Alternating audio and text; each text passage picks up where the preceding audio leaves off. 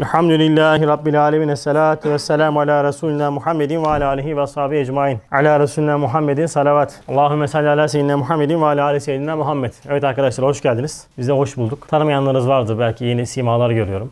İstanbul'dan geliyoruz biz. Teneffüs Vakti İlim ve Kültür Derneği adı altında Kur'an ve iman hizmeti yapmaya çalışıyoruz. Gençler Konale'de münasebetimiz birkaç seneye dayanıyor. Böyle ara ara ondan sonra geliyoruz. Burada etli ekmek yiyoruz. Ee, güzel oluyor ondan sonra. Bazen mangal ısmarlıyor Mustafa abi. Onu yiyoruz. Ve yemeğe geliyoruz. Arada işte böyle sohbet yapıyoruz. Her pazar günü inşallah döneceğiz. Allah nasip ederse. Evet. Normalde burası arkadaşlar burada yazdığı üzere bir gençlik hareketi. Bu yazıyı da bugün yazdılar. Ve bu dersi ilk yapan da ihtiyar. Yaş 40. O yüzden de yani buranın e, önemli olan yazı değil, icraattır. Nerede Osman? Osman abi. Yani burayı bu yazıyı yazaraktan benim buraya gelmeyeceğimi zannediyorsan ondan sonra yanılıyorsun. Bizim ruhumuz genç. Evet arkadaşlar konumuz gaye hayal. Önemli bir konu. Uzun bir konu olacak. Belki buradaki derslerinizin standartını aşan bir ders olacak. İnşallah canınız sıkılmayacak. Hayatınıza en azından bir parça, bir nebze biraz daha şuur katacak bir ders olacak. Çünkü gerçekten de e, burada ifade edeceğimiz manalardaki bu şuura çok ihtiyacımız var. Toplum olarak temel kronik hastalığımız gayesizlik olmuş e, alem İslam için temel kronik ondan sonra hastalık davasızlık olmuş. Ben merkezde yaşayan, tek derdi midesi, affedersiniz uçkurunu tatmin etmek olan bir e, ve sosyal medya ve telefon, akıllı telefonlar tarafından bloke edilmiş bir gençlik var maalesef. E, şimdi bunun bu zehrin pan zehrini bulmamız lazım. Çünkü gençler toplumun temel dinamikleri. Biz de gençlik yani yaşımız 40 oldu ihtiyarlık mevsimine girdik ama tam çok da ihtiyar sayılmayız. Ee, yani o gençler eğer yoldan çıktı mı toplumu yoldan çıkartırsın. İki tane unsurdur. Biri kadın birisi de gençlerdir. Şimdi gençlerin önüne gayi hayal dediğimiz bir hedef koymamız lazım. Çünkü yani eğer bunu yapmazsak iş bu sefer çok ciddi bir boşluğa düşüyor. Zaten bunun ispatını istiyorsanız bugün Konya'da bilmiyorum ne kadar var da bizim İstanbul'da nargile kafeler meşhur. Eskiden PlayStation salonları vardı. Şimdi nargile kafeler meşhur. Nargile kafelere baktığınız zaman gerçekten de hiçbir gayesi olmayan, eline bir tane sopa alıp diğer elinde telefonu alıp böyle saatlerce duman altında oturan tamam mı? Çok acip bir güruh göreceksiniz. Çok üzücü bir durum. Yine ona keza kahvelerde vesaire ondan sonra futbol stadyumlarında. Gaye ki gayesi ondan sonra işte takımının 3 tane direğin arasında atacağı gol golle mutlu olmak olan gençliği göreceksiniz. E, hali böyle olunca işte hem maddi hem manevi zarar ediyoruz. Avrupa bugün artık Mars'ta hayat kurmanın planlarını yaparken biz ne seviyede kalmışız. Doğru mu? O yüzden buradaki ders hepimizin biraz nefsine dokunacak ama bize bir noktayı e, gayeyi hayal belirleyecek. Evet şuradan başlayalım Mustafa abi. Bismillahirrahmanirrahim. Gayeyi hayal olmazsa enaniyet kuvvetleşir. Evet gayeyi hayal olmazsa yani bir insanın temel bir gayesi hayal etmiş olduğu büyük bir gayesi olmazsa enaniyet kuvvetleşiyormuş. Enaniyet yani benlik. En basit manada meseleyi anlamaya çalışacağız. Yani bir insanın enaniyeti, benliğinin kuvvetleşmesi demek o insanın ben merkezde yaşaması demek. Ben merkezde yaşayan kişi tamamen İslamiyet'e zıt bir yaşantı içine girer. Çünkü Efendimiz sallallahu aleyhi ve sellemin en büyük sünneti nedir? Şefkattir. Efendimiz sallallahu aleyhi ve sellemin 23 sene boyunca en büyük davası ümmeti ümmetidir. Sen eğer benlik merkezinden, ben merkezde yaşamaktan kurtulamayıp tamam mı? Yani ümmeti ümmeti diyemiyorsan senin enaniyetin kuvvetleşmeye başlar. Gaye hayal olmazsa enaniyet kuvvetleşir. Sonra bir gaye hayal olmazsa yahut nisyan basarsa ya tenasi edilse elbette zihinler enelere dönerler. Etrafında gezerler. Ene kuvvetleşiyor, bazen sinirleniyor. Delinmez, ta nahnü olsun enesini sevenler başkalarını sevmezler. Şimdi gaye hayal noktasında kendimize ulvi bir gaye koymazsak ne olur? Şimdi insanın cihazat olarak mahiyet itibariyle Cenab-ı Hak acayip böyle istidatlar koymuş. Cihazat koymuş. Doğru mu?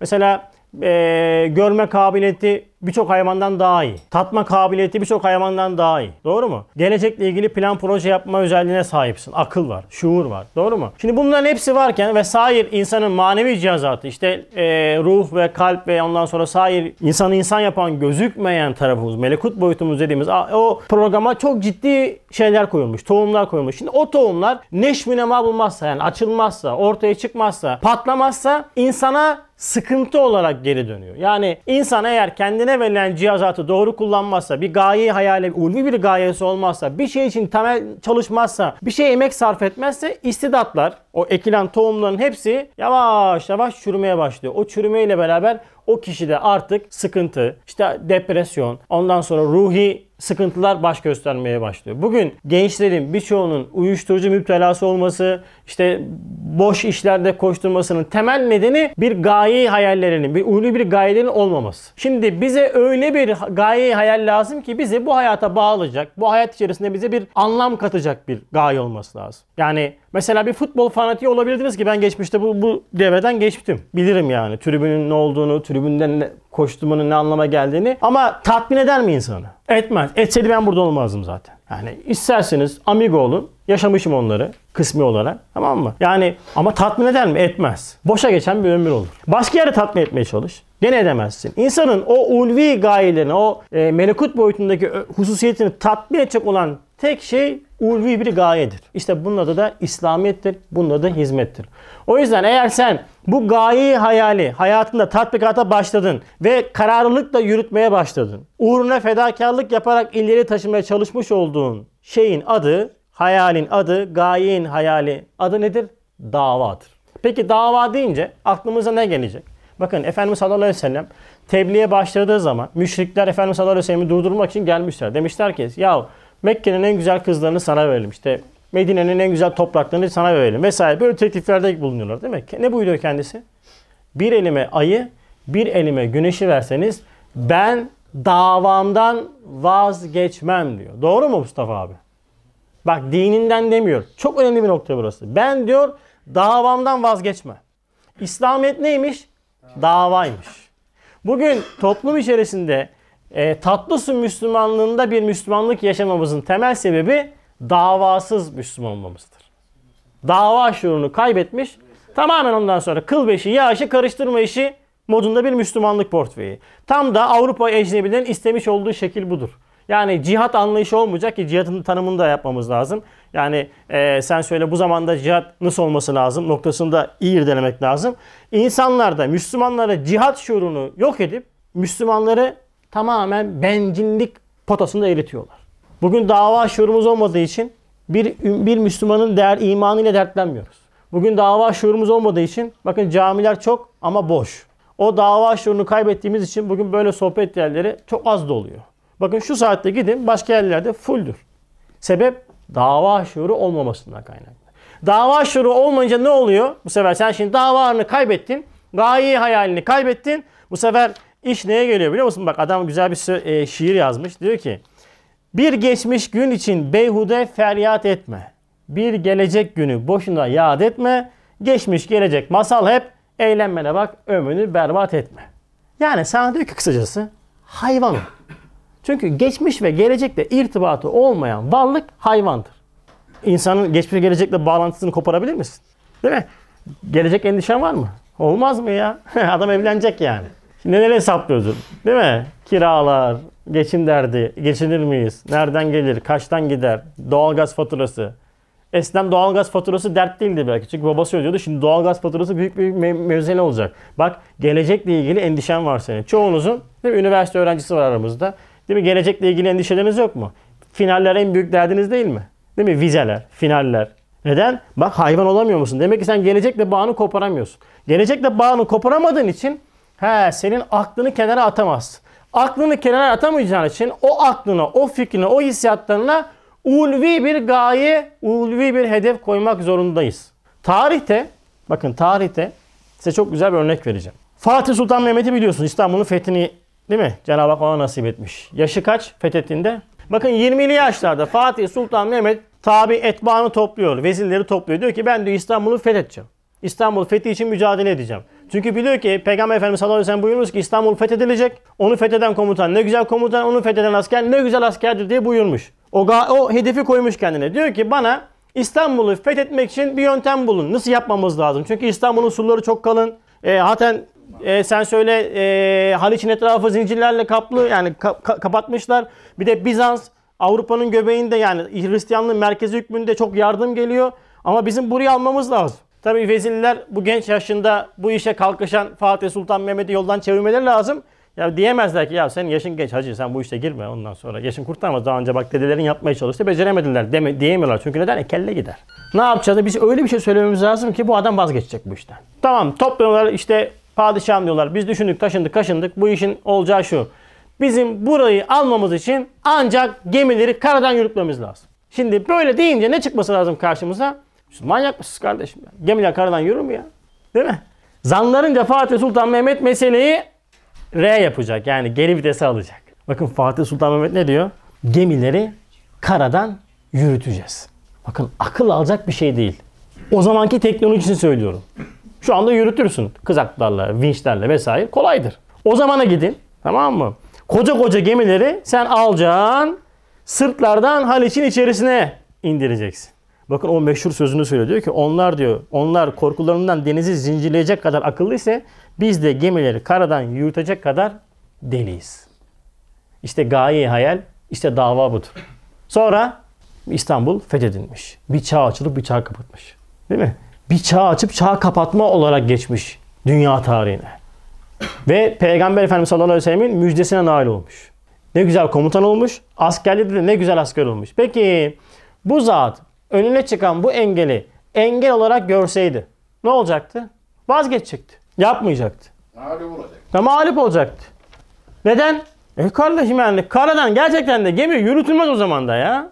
Ya adam harbiden büyük komutan yani. O kadar büyük komutan ki bak göze almış olduğu davaya bak. Demek ki meselenin özü burada.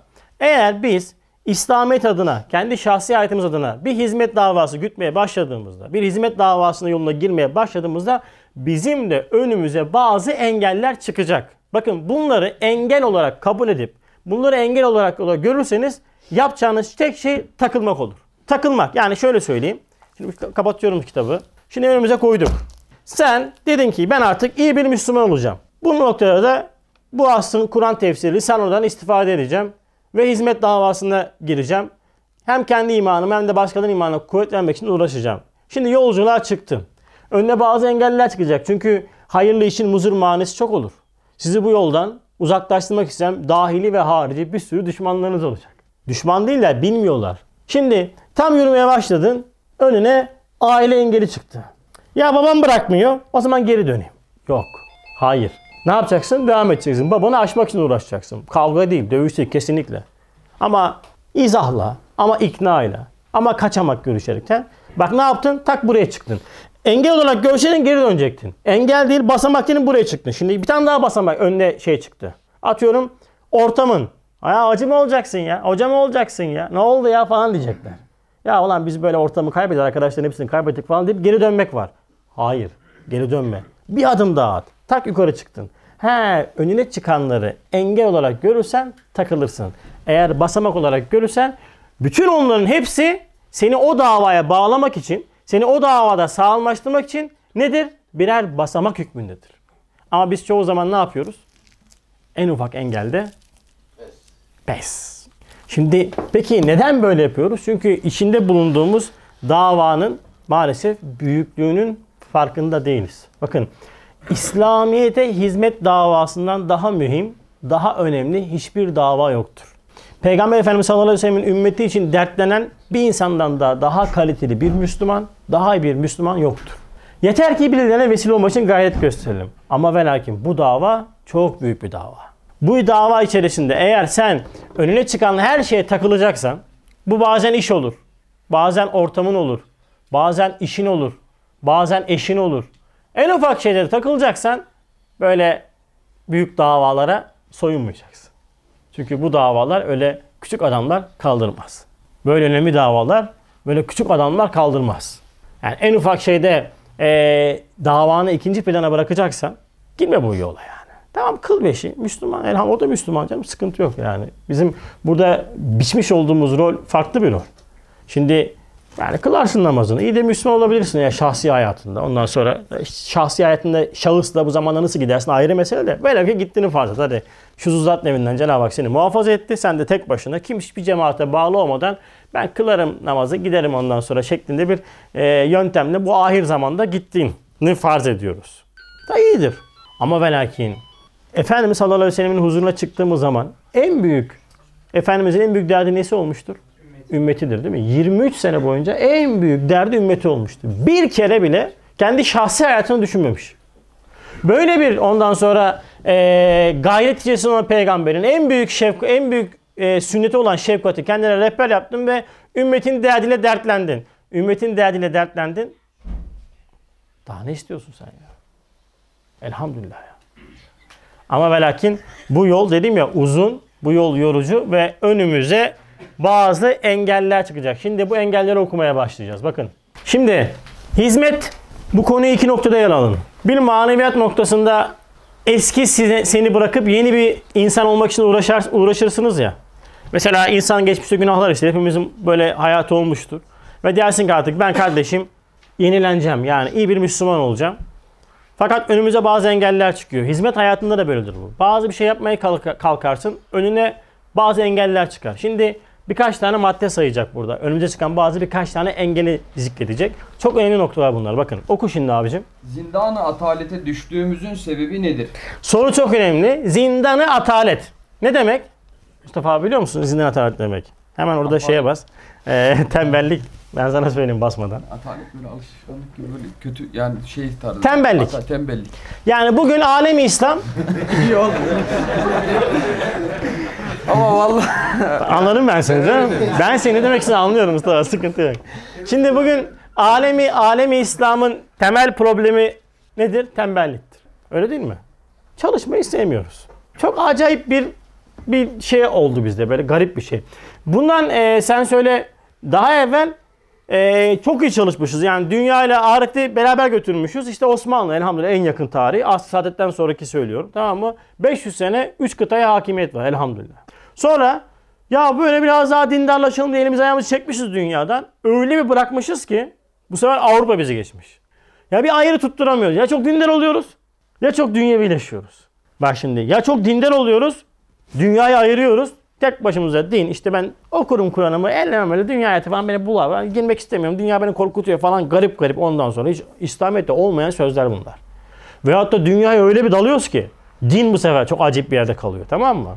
Şimdi bunun adı laikliktir. Dünya ile dini ayıran kişi laiktir.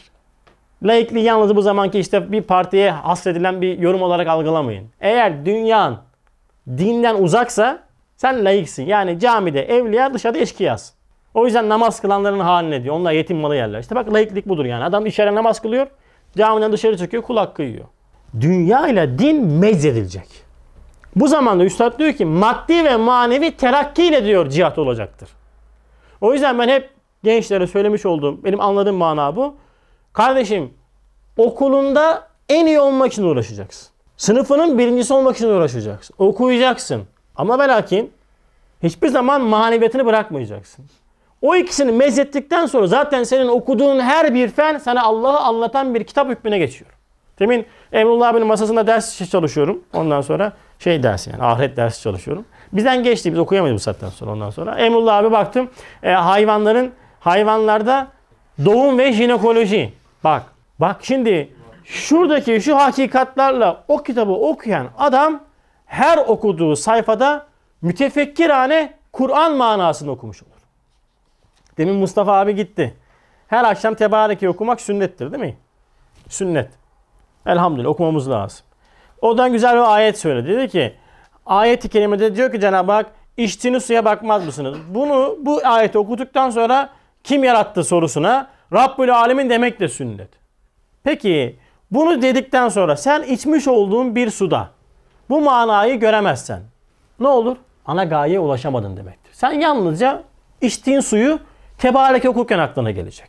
Ama mütefekkirane Kur'an okuyan bir kişi her daim her su içtiğinde Ya Rabbi hamdolsun ya. Sen dileseydin bu suyu tuzlu da yaratırdın ama yaratmadın. Bak hayata Kur'an yansıdı.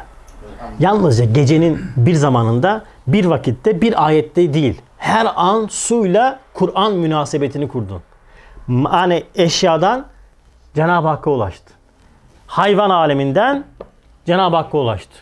Laboratuvardasın, Cenab-ı Hakk'a ulaştın. Her şeyde Cenab-ı Hakk'a gidecek yol var arkadaşlar. Kendimizi kör etmeye gerek yok. Üstada Kastamonu arkasında e, ka, şeyde Meyve Risalesi'nde şu aralarda sorular diyor ki Kastamonu'da bir grup genç geliyor değil mi? Muallimlerimiz Allah'tan bahsetmiyorlar. Bize Allah'ı anlat. Muallimlerimiz bize Allah'tan bahsetmiyorlar diyorlar. Üstad ne diyor? Onlar zındık. Okulu bırakın ne gidiyorsunuz böyle dinsiz okullara demiyor. Her bir fen kendi lisanı haliyle size Allah'ı anlatıyor. Muallimleri değil, onları dinleyiniz. Tak noktayı koydu. Sen istediğin kadar ateistlik yapsın öğretmenin. Hiç önemli değil. Sende o veri varsa, o Kur'an'ı şuur varsa sen hayvanların jinekolojisini de okusan, laboratuvarda kan değerlerini de okusan, bak hiç önemli değil. Matbaa işi yapsan dahi her işten Cenab-ı Hakk'a gidecek bir yol bulabilirsin. O yüzden bu manayı yakalamadığımız için bugün bakın medresede kalan insanlar dünyevileşmekten korkup dünyaya yanaşmıyorlar. Dünyadakiler de çok böyle sağlam Müslüman oluruz. Allah korusun elimizden her şey gider diye dine yaklaşmıyorlar. Arada bir şey var. Bu sefer ne oldu? Ortaya ne çıktı biliyor musunuz? Din adamı. Din adamı. Özel bir meslek grubu. Bunların işi dinle uğraşmak. Yani sıkışınca arayacağız. Hoca bu caiz midir? Yapsak olur mu? Ne diyorsun bu işe? Din adamısın. Sen din adamısın diyor ya. Sen nesin? Dünya adamı. Dinle dünya adamı karşı karşıya. Böyle mantık yok ya. İşte bu bize Katolik mezhebinden bulaştı. Cuma günleri camiye gidiyoruz. Onlar da pazar günü kiliseye gidiyorlar. Hiçbir şey farkı yok. Bakın ortaya bir din adamı e, profilin çıkmasının temel sebebi dünya ile dini mezetmemektir. Peki biz neden bu kadar zindana düştük, atarete düştük?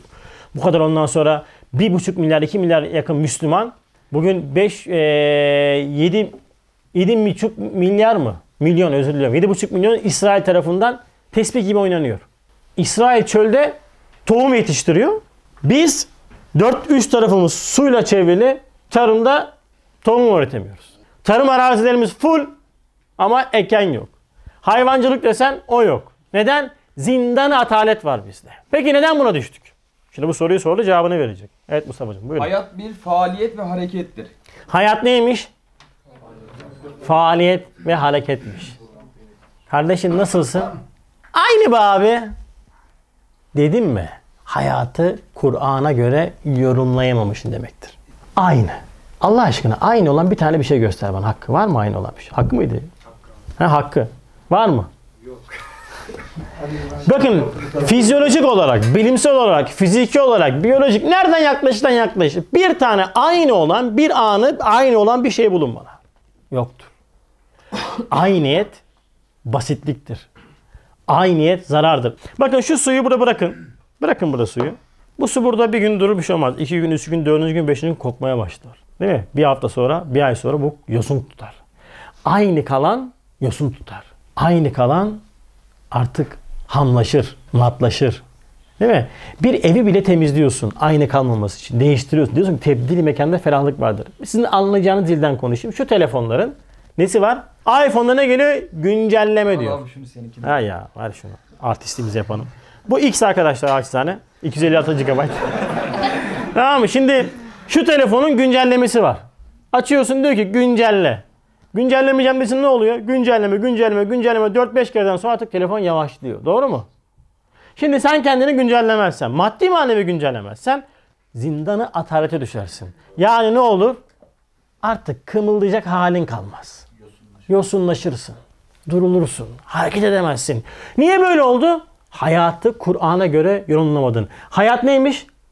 Bir faaliyet ve hareket. Harekettir. Evet devam et. Şevk ise matiyesidir. He, ikinci nokta şevk. Yani gıpır gıpır olmak. Oynayacak. Adama bakıyorum adam ölmüş ya. Müteharrik meyyit diyorum ona ben yani. Yürüyen cenaze. Bir iş veriyorsun adama. Adam işe şöyle bakıyor. Tamam mı? Ama öyle bakıyor ki. Mesela şu bardak hala şunu alır mısın diyorsun. Bu bardağı. Buradan alacağım. Buraya tamam mı? Oo, abim benim ya. Ya yok yok canlılık yok. Ama aynı adam telefonda bakıyorsun böyle cin gibi. Tak tak tak tak tak parmaklar şey gibi oynuyor. Anladın mı? Şevk olacak. Yaptığınız her işte şevk olacak. Şevk olmadıktan sonra o işi yapmayın. Baktınız ki olmuyor kardeşim. Demek ki oranın adamı değilsin de. O işi yapma. Ama şevk varsa sen artık hareket senin için lezzet vermeye başlar. Habire hareket yaparsın. Çocuklarda bunu görürsünüz. Değil mi? Çocuk duramaz ya. Ulan kurt gibi diyor. Tepişmeyle durmuyor diyor. Hareket yapıyor. Çocuk şevkli ya. Harekette lezzet verir insana. Bakın harekette lezzet vardır. Hiçbir iş durmakta lezzet yoktur. Şu kolunuzu bakın kaldırmayın. Bu kolunuz kireçlenir. Ve sonra artık kaldıramaz hale gelirsiniz. Ama hareket eden değil mi? Kol, uzuv gelişir. O yüzden sen ne yaparsın? Dumbbell alırsın kaldır indir kaldır indir hop böyle adamda bir şey var pozu var benim bacağım kadar yani. Ne yapmış mübarek? Çünkü hareket yapmış. Şevk olacak. Şevk bizim bineğimizdir. Evet. İşte himmetiniz şevke binip mübarezeyi hayat meydanına çıktığı vakit en evvel düşmanı şiddet olan yeis rast gelir. Evet. Şimdi tam böyle şevklenmişsin. Tam böyle hareket başlamış. Ya ben artık iyi bir Müslüman olacağım. İnsanların iman davası için koşturacağım. Artık Allah'ın izniyle başlıyorum dedin. En önünüze çıkacak en büyük, en böyle şiddet düşman yeistir. Ümitsizlik. Ya sen mi kurtaracaksın ya? Klasiktir bu. Üstad Başkelez yeis için diyor ki seratan hastalığı, kanser hastalığıdır. Yeis bir hücre gibi düşünün. Kanser hücresi dağılır. Şimdi ben yeis sahibiyim. Mustafa da şeriflenmiş. Hizmet edecek. Tamam mı? Hasan abi işte koşturmamız lazım diyor falan. Ya Mustafa be. Sen mi kurtaracaksın baba? Ya millet bitmiş ya. Millet bitmiş. Sen neye uğraşıyorsun? Bak şimdi ben yeis sahibiyim. Tamam mı? Kendisi öyle bir inanmış ki bir şey olmayacağına. Bakın inan, öyle bir inanmış ki bir şey olmayacağına karşı tarafı da etkiliyor. Şimdi Mustafa tam adam haklı ya. Harbiden de bizim yapacağımız işte bu iş. Hop bu da yese düştü. Bu da ona bulaştırıyor. Bir bakıyorsun.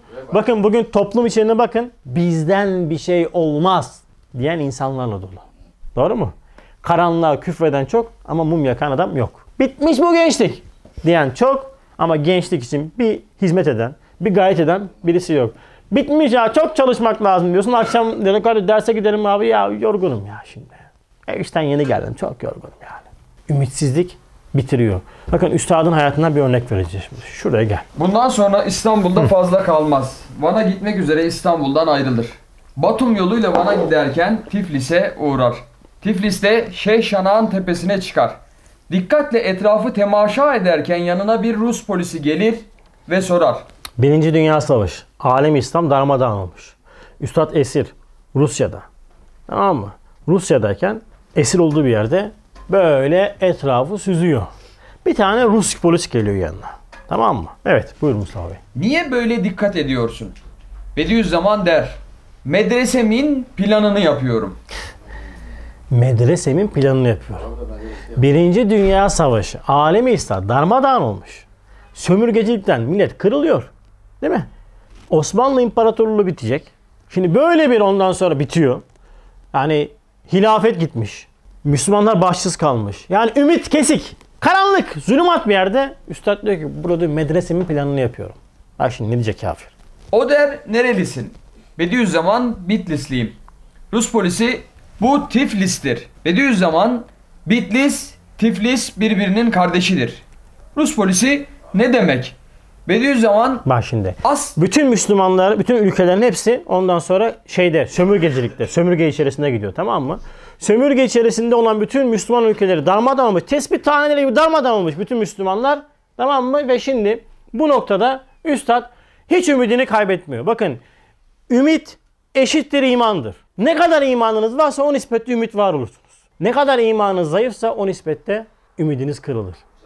Tamam mı? Bak şimdi nasıl anlatacak Rus polisine. Asya'da alemi İslam'da üç nur birbiri arkasında inkişafa başlıyor.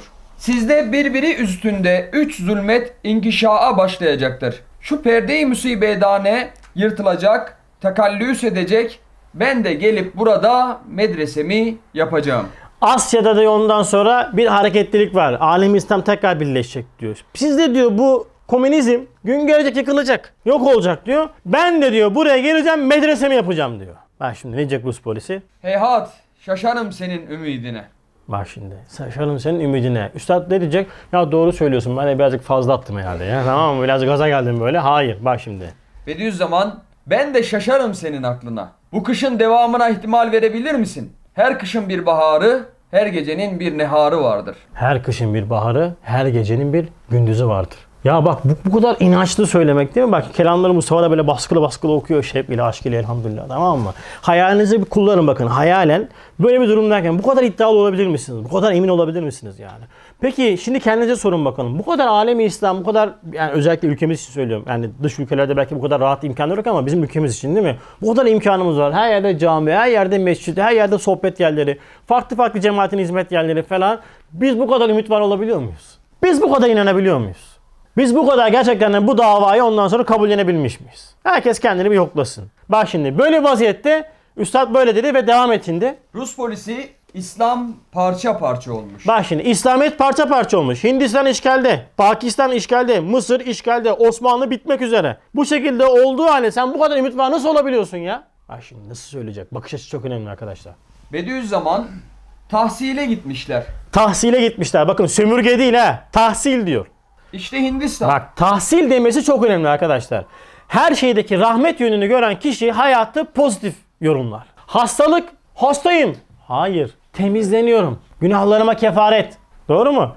Dert, hayır, derman. Her dert içinde derman var. Öyle değil mi? Baktığınız yere göre şekilleniyor bir hayat var. Baktığınız şekle göre. Eğer Rahmani ve Kur'an'a bakarsanız hiçbir zaman ümitsizlik yoktur. Çünkü her şey ya bizzat güzeldir ya netice itibariyle güzeldir. Ah sene küllü şeyin halaka. Ayeti kerime. Ya bizzat güzel olacak ya netice itibariyle güzel olacak. Evet şu anda alem İslam parça parça olmuş, darmadağın olmuş. Doğru söylüyorsun. Evet senin dediğin gibi ama ben biliyorum ki Allah yapıyorsa, müsaade etmişse güzel olacaktır. Peki nasıl güzel olacak? Şimdi onu ifade edecek. İşte Hindistan. İslam'ın müstahit bir veledidir. İngiliz Mektebi İdadiyesi'nde çalışıyor. Mısır. İslam'ın zeki bir mahdumudur. İngiliz Mektebi Mülkiyesi'nden ders alıyor. Kafkas ve Türkistan. İslam'ın iki bahadır oğullarıdır. Rus Mektebi Harbiyesi'nde talim ediyorlar ilahir. Bak Mısır'ı işgal altına almışlar. Pakistan, Hindistan işgal altında işgal demiyor. İngiltere'den ders alıyorlar. Kafkaslar Ruslar tarafından işgalde değil. Hayır. Ruslar tarafından talim öğretiliyor. Ne olacak sonra? Oku. Yahu şu asilzade evlat şehadet namelerini aldıktan sonra her biri bir kışta kış, kıta başına geçecek. Muhteşem adil pederleri olan İslamiyet'in bayrağını afak-ı kemalatta temevvüç ettirmekle kaderi ezeliğinin nazarında feleğin inadına nev-i beşerdeki hikmet-i ezeliğinin sırrını ilan edecektir. Evet. Ne olacak? Bugün Avrupa arkadaşlar çok iyi biliyor ki alemi İslam birleşecek. Ne yapıp edip bunu önlemek için uğraşıyorlar. Ama kader öyle güzel birleştiriyor ki bizi zorla, kulağımızdan tutarak. İnşallah bütün bu sıkıntılı, musibetli, zahiri perde altında Cenab-ı Hak çok güzel rahmet noktalarını gösterecek. Bize düşen nedir? Ümitsizliğe kapılmamak. Ya bir, bir yola çıktın. Ben iyi bir Müslüman olacağım, iyi bir dava adamı olacağım diyorsan Allah aşkına ümitsizliğe hayatında yer verme. Hayatında ümitsizliğe yer verme. Ümit var ol. Çünkü yapacak olan sen değilsin. Yapacak olan Allah'tır. Sen yalnızca isteyeceksin. Sen yalnızca talep edeceksin. Cenab-ı Hak yaptıracak. Ama sen ümitsizliğe girdiğin anda kendi olan inancını kaybettiğin anda mesele bitiyor işte. O zaman kaybediyorsun. O zaman bitiyoruz işte. İkinci adım. Geç şimdi şey küçük kitaba. Yeis'e peki şimdi bu yeis zehrine panzehir lazım. Nedir o? Yeis rast gelir, kuvve-i maneviyesini kırar. Siz o düşmana karşı la tegnetu kılıcını istimal ediniz. Yani la taknatu. Kesme. Ümidini kesme. İnan. Bakın en büyük yardım en zor zamanda gelir. Sen ümidini kesme. Sen inan yeter ki. La taknatu kılıcını yeğesin üzerine vuracaksın. Kellesini alacaksın. Tak. Allah'ın rahmetinden ümidinizi kesmeyin diyor. Allah'ın rahmetinden ümidini kesenler ancak kafirlerdir. Bu kafirleri sakın böyle Yahudiler, Hristiyanlar olarak algılamayın ha. Kafirin bir manası hakikatin üzerine örtmektir. Eğer sen ümitsizliğe düşüyorsan sen Allah'ın rahmetinin hakikatin üzerine örtensin. Küfür belirtisi var sende. İtikadı kafir olmuyorsun. Ama hakikatin üzerine örttüğü için kendini o yeis bataklığına koyuyorsun. Benden bir şey olmaz. Tamam, bu toplumdan bir şey olmaz dedin. Ondan sonra meseleyi ne yaptın? Bitirdin. Demek ki ilk düşmanımız yeismiş. La taknotu kılıcı da kestik. Bitti mi? Lan biter mi ya? Sen Allah yoluna yol, almaya, yol almaya başlayacaksın. Biter mi mevzuat? Dava çok büyük ya. O davaya seni bağlamak için, o davanın altında sana kas yaptırmak için senin önüne bazı engeller çıkacak dedik ya. Bu engeller en- seni engellemek için değil ama. O engeller senin bu büyük davanın altında daha ciddi girmen için verilmiş olan ağırlıklar, kaldırımlar yani seni basamaklar hükmünde. İkinci adım geliyor şimdi. Sonra oku. Sonra müzahemetsiz olan hakkın hizmetinin yerini zapt eden meylü tevaffuk istibdadı hücuma başlar. Evet. Şimdi üstünlük psikolojisi. Cemaat içine girdin. Tamam. ilk ümitsizlik zincirini kırdın. Şimdi cemaat içine geldin. Şimdi cemaat içinde önde olayım. Beni dinlesinler. Beni sevsinler. Benim dediğim olsun. Ben. Ramazan davulcusu gibi adam. Ben. Ben diye durup duruyor böyle. Meyli tefebbük. Üstünlük hastalığı. Bak adamı bitirir.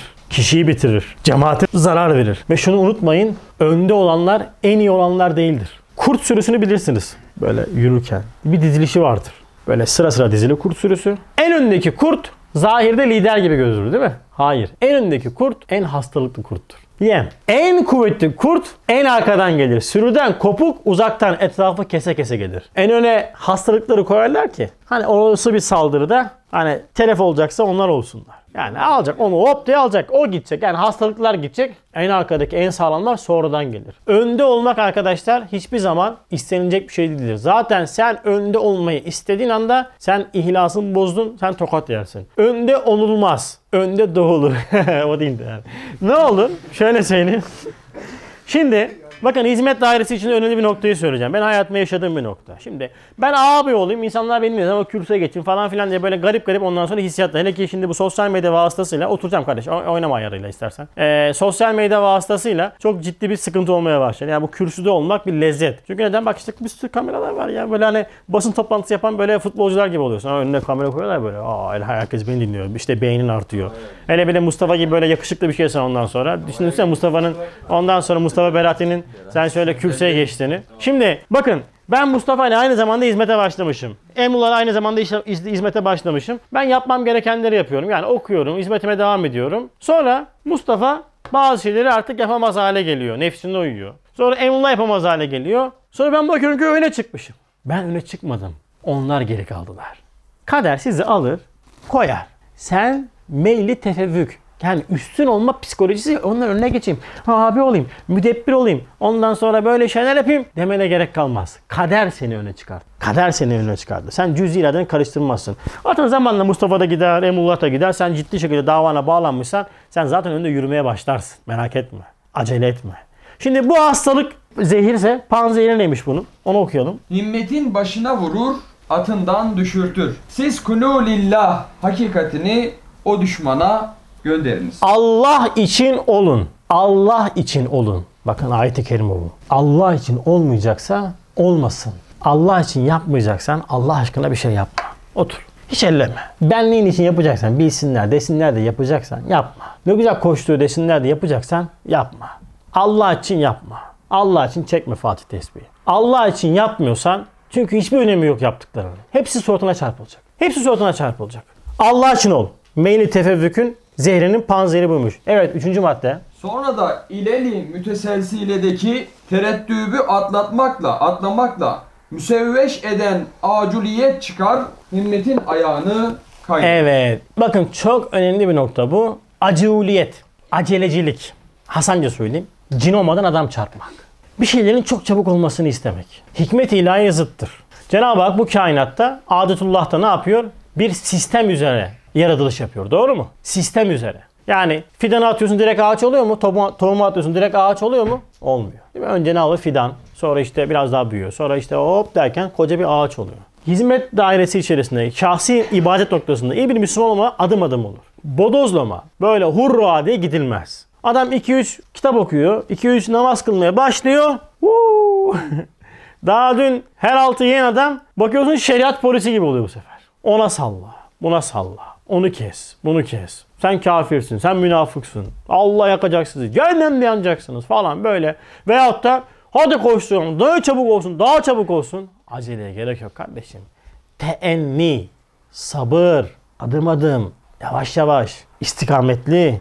Bu zamanda en büyük keramet istikamettir. Özellikle Müslümanlık da böyledir, hizmet dairesi de böyledir. Maraton koşusudur. Bakın sprint atan adama ihtiyacımız yok bizim. Adam bakıyorsun gelmiş pırr koşuyor. Sonra bakıyorsun 3 ay sonra piyasada yok adam. Rüzgar. Yok. Tempolu. Orap. Uzun soluklu olacak. Uzun soluklu. Çünkü bizim hizmetimiz ne kadar Ebu Bekir? Ne zaman kadar sürecek? 60 yaşında emekli olamıyoruz. Öyle bir yok. İslamiyet dairesinde emeklilik ölene kadardır. Efendimiz sallallahu aleyhi ve sellem tebliğ ne zaman bırakmış? Vefat edince bırakmış. Biz ne zaman tebliğ vazifesini bırakacağız Mustafa? Evlenene kadar. Evlendikten sonra bana dokunmayın kardeşim. Öyle her gün ders falan filan. Olmaz yani. Evlenene kadar. Hele çocuk oldu mu bitti mesela. Nirvana'yı yakaladın yani. Tabii sözleşme imzalıyorsun. Yani şimdi neyin aculiyet bak. Aculiyet bizim hayatımızı kemiriyor. O yüzden acele etmeyin. Bir şeylerin olması için zaman lazım. Değil mi? Elmanın pişmesi için değil mi? Kaç ay, bir iki ay, iki ay geçiyor. Karpuz ona keza. Cenab-ı Hak pişirir. Ama acele ederseniz olmaz. Ne maddi ne, ne manevi ondan sonra yol alamazsınız yani. Siz vesbiru ve sabiru ve rabitu yu siper ediniz. Sonra da medeni bir tab olduğundan ebnai cinsinin hukukunu muhafazaya ve hakkını onların içinde aramaya mükellef olan insanın amalini dağıtan fikri infiradi ve tasavvuru şahsi karşı çıkar. Evet. Hizmet dairesine girdin. Şimdi gençler konağında koşturuyorsun fakat kimse senin fikrini takmıyor. Bana hiç sormuyorlar. O kadar geliyoruz gidiyoruz bana hiç sormuyorlar. 5 seneden beri bana hiç sormadılar. Hiç bana sormadılar. Şimdi bak enteresan bir şey yani. Ne oldu? Şimdi onun fikri başka, bunun fikri var. Hizmet dairesinde çok zordur bu. Herkesin fikrini, fikrini tatmin edemezsiniz. Hele ki yaşınız yakınsa bu hepten imtihan olur size. Osman abi. Çünkü neden şimdi atıyorum yaş farkı yok ama şimdi biz hani bir nebze yaş 40 olunca hani baktık "Aa, yok kardeşim diyorum tamam mı bitti. Kimse gıkını çıkartmıyor yani. Çünkü neden? Bakın bu işte fikri infiradi. Yani fikir ayrışmalığına girmeyeceğiz. Ha aynı fikri mi düşünüyoruz abi? Hayır. Aynı fikri düşünüyorsa herkes birileri düşünmüyordur. Ha tartışırsın, vurursun, kırarsın, parçalarsın. Abi ne olur? Olur. Ama o mesela böyle oldu. Ve beni dinlemediler ya. Daha da kılımı kıpırdatmam ben yani. Ya. Ellenen ya. Bak orada da şey söyledi. Hep de onun dediği oluyor. Çok olur ha bu. Hissiyat kırılır. Hissiyat kırılır. Şevk kırılır. Neden? Çünkü Efendi Hazretleri'nin dediği olmadı. O kadar da istedik ya. Nasıl olmaz? Bitti. Orayı kirletmeye başladın babam sen. Uzaklaş. Otur evinde ya. Böyle fikrini hayatında insanlara müstebit yapacaksan tamam mı? Baskı rejim olarak kullanacaksan otur evinde ya. Hiç kimsenin hayatını karartma yani. Ha, zarar veriyorsun. Hem hizmete zarar veriyorsun hem kendine zarar veriyorsun yani. Neden? E, istişare yapılır. Olması gereken neyse o olur. O olursa karışan kimse bir şey diyemez artık. İstişareyle çıkan sonuç ibadettir. Yanılsan bile ibadet olur yani. Ama insan hemen gururu kırılıyor. Yani niye benim dediğim olmuyor? Ve hatta şimdi istişareyle bir şey karar verildi. Tamam mı? Şimdi yanında pusuya yatmış bekliyor. Muvaffakiyetsiz olur mu? Ben demiştim. Beni dinleseydiniz böyle olmazdı. Hemen löp diye çıkıyor ağzından. Çıkar. O bir duadır. İçten içten diyor ki bir olmasın şuna şey iş olmasın var ya. Allah'ım Allah'ım şunu ver. Bak bu duadır işte. Allah böyle bir genişlik nasip etsin bize. Bakın ciddi olarak da yani olur istediğin olmaz tamam abi elhamdülillah olmasa da biz bu meseleyi bu şekilde gayret yapacağız, uğraşacağız, dua edeceğiz. Böyle pusuda yatan ondan sonra kurs, böyle kurtlar gibi ulan meselenin muvaffakiyetsizliği için dua etme. Dua etmiş olduğun mesele hizmet meselesi bak. Nereye gideceğine dikkat et. Allah kişiyle kalbi arasında gelir. Yehulü benen mer'e ve kalbi. Senin kalbinden geçirdiğin en ince hatıratı Cenab-ı Hak biliyor. Tamam mı? Ona göre. Oku ya. Siz Amma çok konuşturuyorsun. Hayrun nasi enfe'uhum linnas olan Sizlerin diyor en aynısı kimdir? İnsanlara faydalı olandır. İnsanlara faydalı olandır. Allah bu makamı ulaştırsın bize. Evet. olan mücahide âli himmeti mübarezesine çıkarınız. Sonra başkasının tekasülünden görenek fırsat bulup hücum edip belini kırar. Şimdi diğer noktada bu. İnsanlar ya şimdi özellikle bakın hizmet dairesinde çok yaşanılan bir noktayı söylüyorum. Ve hatta beraber ciddi misyon olmaya çalıştığınız bir adam sizi bırakır. Ve hatta beraber yürüdüğü insanlar yavaş yavaş etrafından dökülmeye başlar. Çok acıttır. Çok yanmıştır canım benim bu noktada. İyi bilirim yani. Değil mi Osman abi? Böyle beraber koşun. Dava diyor adam. Baktı davası adamın harem olmuş. Davası ondan sonra iş olmuş. Davası başka bir şey olmuş. Yani insana acayip ondan sonra dokanır.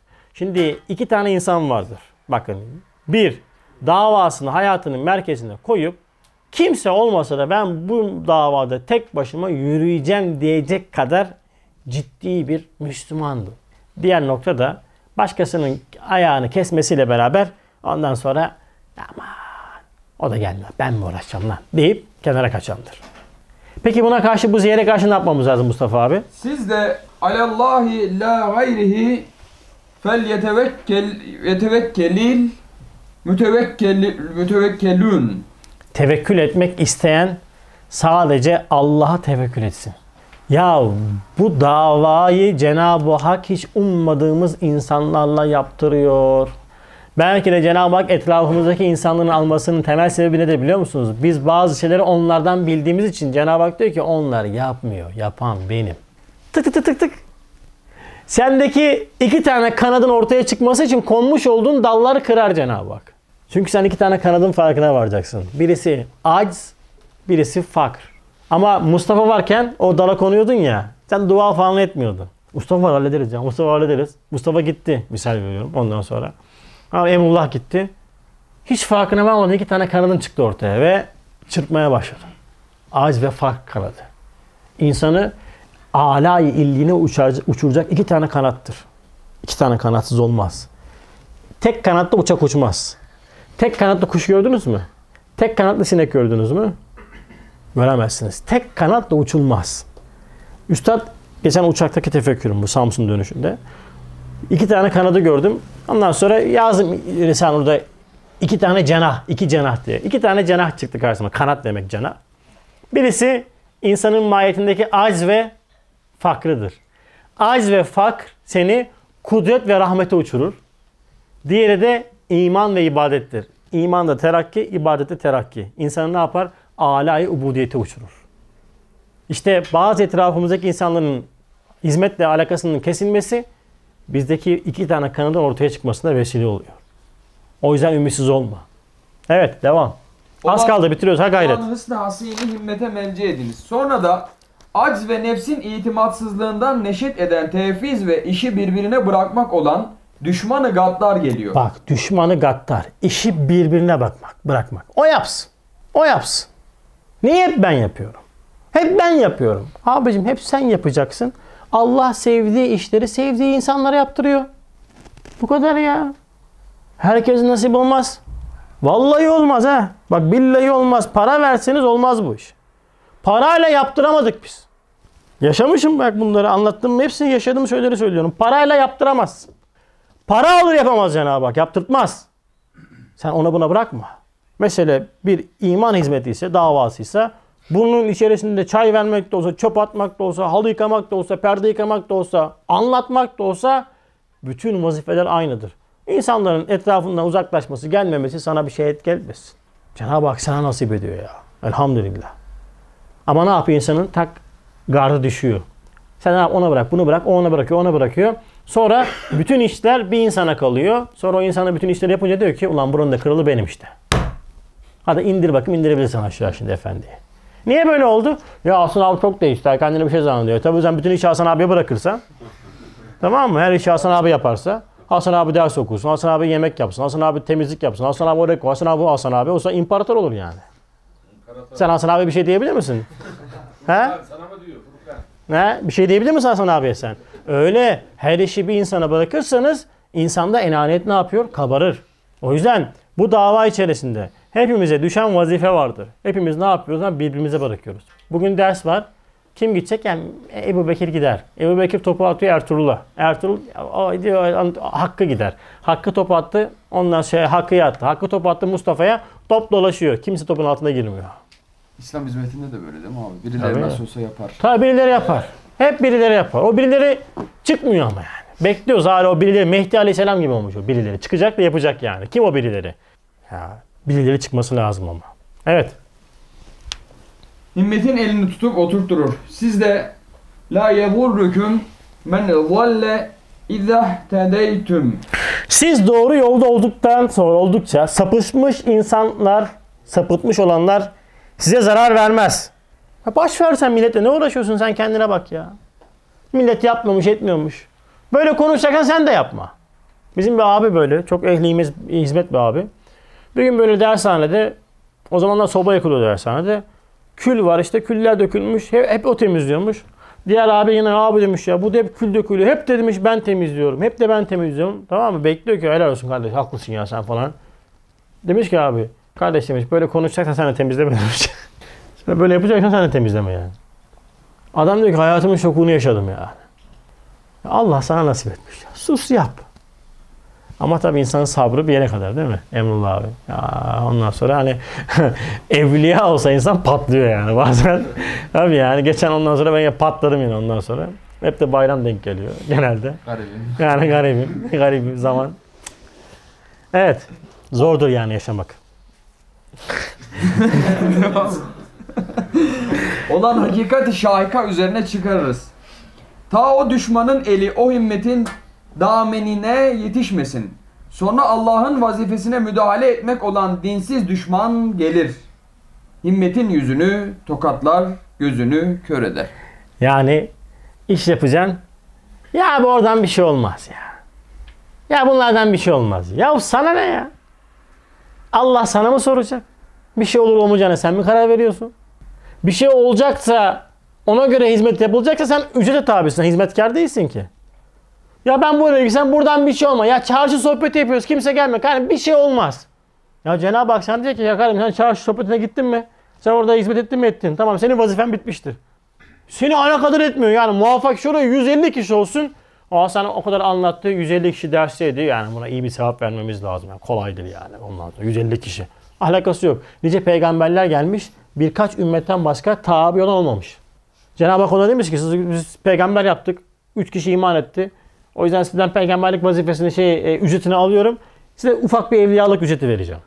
Yok. Peki Cenab-ı Hak ilmi ilahisinde bu peygamber tebliğ edecek. Yalnızca 3 kişi iman edeceğini bilmiyor mu?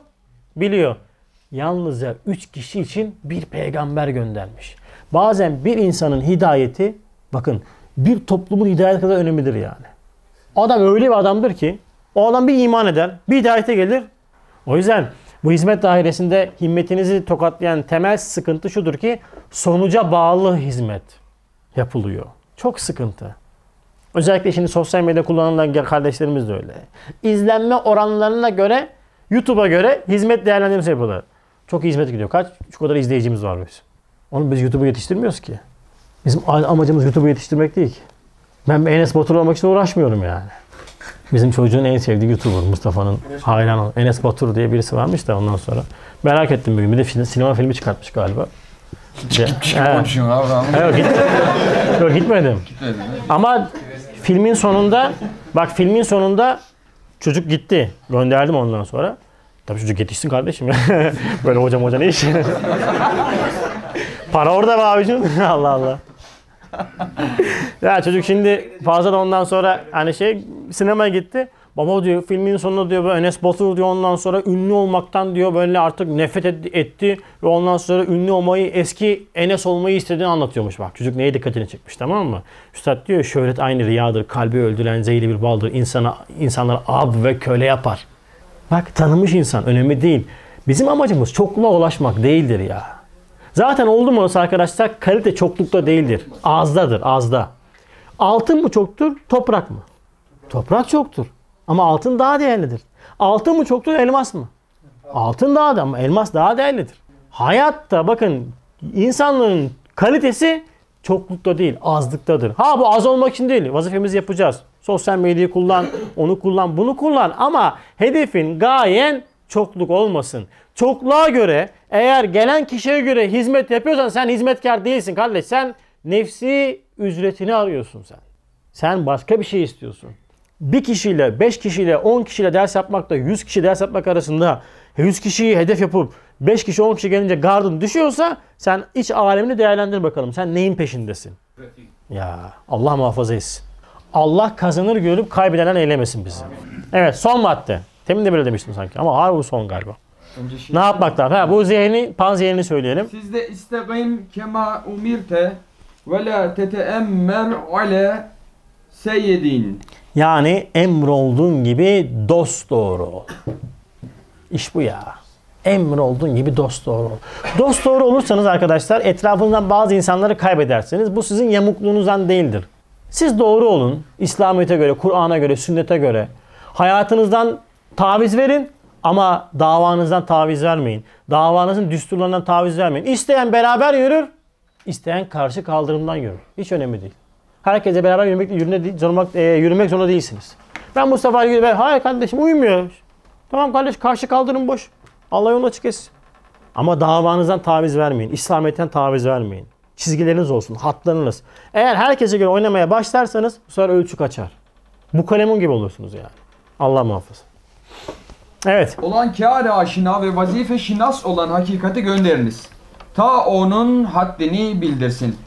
Sonra umum meşakkatin Evet anası- burası son nokta. Sonra um- Mustafa şurayı çok iyi oku. Sonra- Önce nefsine. Tamam abi. Sonra O zaman sessiz ol. Sonra Sonra umum meşakkatin anası ve umum rezaletin yuvası olan meylür rahat geliyor. Evet, işte burası. Böyle kilit nokta. Bir daha okur musun? Okursun tabii. Sonra umum meşakkatin anası ve umum rezaletin yuvası olan meylür rahat geliyor. Meylül rahat. Yani ne demek Emrullah abi? Rahata düşkünlük. Rahat düşkünlüğü. Bizi bu asrın insanını ve gençlerini, bizleri kemiren kronik hastalık. Rahatımı bozmayayım. Ha iyi bir dindar olayım ama rahatım bozulmasın. İyi bir dava adamı olayım ama rahatımı elleme. Şimdi rahat bozuldu mu benim fonksiyon bozuluyor. Rahat sevdası. Neden? Mesela bu daire içerisinde olan kardeşler var eskiden gördüğüm. Ama dershanede kalmıyor adam. Değil mi Mustafa abi? Neden? Rahatı var. Çünkü evindeki yatak çok rahat. Çarşaf tertemiz. Tamam mı? Yastık tertemiz. Şimdi buraya gelecek. Bir yastıkta yatacak ki yastığın kılıf rengi terden sarımtırak olmuş. Yani kokudan eskiden Mustafa'lar şey o da bu kaldığı zamanlarda geçmiş gençlik zamanları. Öyle çok kaliteliydi şimdi. Ondan sonra pek göremiyoruz şimdi. Böyle Mustafa kokuyor. bu bu Emre Ozan'ın Ozan'ın yastığı tamam mı? He? Gerçekten öyle. Şimdi buraya gelecek. Tamam mı? Adam neden dershanede kalmak istemiyor? Burada kalmak istemiyor. Şimdi bak. Bir kalkacak. Sabah kalkınca anası ona kahvaltı hazırlamış. Şimdi bu da kalkacak. Kahvaltı hazırlayacak. Sonra bu da buzdolabını açacak. Hiçbir şey. Hiçbir şey yok. Asrı saadet buzdolabı. Yalnızca peynir ve zeytin. Tamam mı? Yumurtayı kıracak, oturacak, oturacak orada, çayı dökecek. O çay demlenmiş. Kalkacak adam bir tanesi daha geç. Masa kalkıyor, kalkması lazım falan. O erken kalkacak. 11'e kadar uyuyamayacak. Uykusu kaçacak. Uyusa sana abi kızacak. Laf söyleyecek. Böyle tatlı su Müslüman olunur. Başka da bir şey olmaz. Rahata alış, e, rahatını terk, e, terk edemeyen arkadaşlar İslam'a hizmet davası gütmesin. Bu imamlık da olsa fark etmez. Söylüyorum imam efendi. Maalesef bakın maalesef bugün bu mail rahat yüzünden artık herkes uyuyayım. 8 saat uyumakla İslam hizmetini yapamazsınız arkadaşlar. Adam 12 olmuş, gözleri şişmiş uyumaktan. Ah, sallar. Namaz okuyor, ezan okuyor. Hiç o kadar rahat. Yığınla iş var. Yığınla iş yapmamız lazım ya. Emekli şey ya. Yusuf Temiz gibi emekli bir emekli olur böyle yani işi gücü yok adam 12'de kalkar falan böyle. Ne yapayım zaten o camiye gideceğim. Yani hayat bu, bu şeyde gidiyor. Bu kadar rahat. O kadar rahat sevgisiyle yürünecek yol değil bu. Rahatını terk etmeyen bak bir yemek sevgisi. Mustafa Berati. Yemek sevgisi. Tamam mı? İki uyku sevgisi. Üç rahat sevgisi olan kişinin kalbine nasihat tesir etmez. Boğazına çok düşkünsen zaten otomatikman uykuya çok düşkün olacaksın. Çünkü yiyen uyur. İnsanın hayvaniyet mertebesi budur değil mi? Kedi yiyince ne yapıyor? Böyle yapıyor. Sonra Ha, öyle kediler var. Ha. E, Emin abinin kedisi var öyle. Bir tane neydi? British bilmem ne. Kedi yok piyasada. Acıkınca kalkıyor. Tamam mı? Yedi şimdi. Şimdi ne yapar? Hayvan yiyince ne yapar? Uyur. Hayvanın midede uyduğu zaman şehvete vurur. Bu böyledir. Yani birbirini tetikleyen noktalar bu. Tamam mı? Şimdi sen eğer meylül rahata girmişsen olmaz abicim. Sen o rahatını terk edeceksin. Senin en büyük ibadetin rahatını terk etmek olacak. Peki rahat düşkün olan kişide ne olacak? Bak ne dedi? Meşakkatin anası ve umum rezaletin de yuvasıdır. O yüzden sizi hayatınızı, nefsi emmarenizi kayıt altına alan kurallarınız olsun hayatta. Ve size bu kuralları koyan kişilerden kaçmayın. Size siz sizi sizden etmeyecek insanlarla beraber olun. Senin hayatına nefsi emmarene kurallar koyacak. Uyuma kardeş. 10 saat uyuyamazsın kardeş. Ben de kalmıyorum dershanede ya.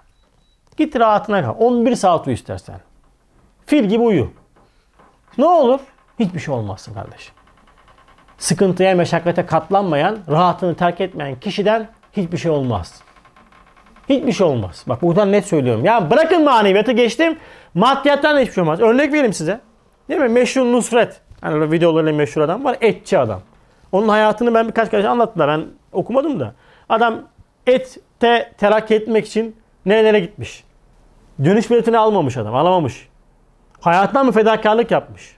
Ama bugün nusret olmuş değil mi? Adam etle dans ediyor. Tanınmış adam. Bir dünya para kazanıyor. Yatsaydı olabilir miydi? Ancak köfteci Osman gibi olurdu yani böyle. Izgara. Çıt çıt çıt çıt tamam bu kadar. Rahatını terk etmiş bakın bir mertebe verilmiş. Rahatını terk edersin sen terk ettiğin nispetle bir terakki verilir sana. Bu maddi de böyledir manevi de böyledir. Ama hiçbir rahatını terk etmiyorsun. Hiçbir gayretin yok. Sonra manzaraya talibim ama ben yokuş çıkmam abi. Yok kardeş öyle bir dünya ya. Manzaraya talipsen yokuş çıkmayı göze alacaksın. Yokuş çıkmayı göze almıyorsan manzara izleme hakkın yok. Meşakkatini çekmediğin davanın sultanı olamazsın kardeş. Yedirmiyorlar kimseye. Ben tribünlerde de böyle dedim. Bizim abiler vardı. Adam yıllarını vermiş Fenerbahçe. Bıçak gibi şerif ya. Kulağını kesmişler herifin yani. Ama adam öndeydi. Ya adam böyle yapıyordu. 15 bin kişi açıkta. Hop susuyordu. Ben yapayım. Derler ki hayırdır birader. ne bu hareket falan. Fatih'te öldürdüler biliyor musun? He? Ya davası yolunda öldü ama. Ama tabii batıl bir dava.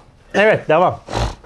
Siz de leysedil insani illa mesa'a. Olan İnsan için ancak çalıştığının karşılığı vardır. Ne verirsiniz arkadaşlar? O verecek sizde. Ekmeğinizi ne kadar açarsanız o kadar köfte koyulacak ekmeğin içerisine. Maddi manevi olarak değerlendirin bunu. Bir okuyorsunuz. Okulunuzda ne kadar gayretliyseniz, hedefiniz ne kadar büyükse o kadar ondan sonra şey verilecek. Açmışsın şu kadar ekmek, köfte istiyorsun. Şuna 10 tane köfte koyamazsın. Kardeş bak köfteye acımıyorum da buraya 10 tane köfte sığmaz ha. Sana benim köfte vermememin sebebi ekmeğinin küçük olması. Aç şöyle, koysunlar.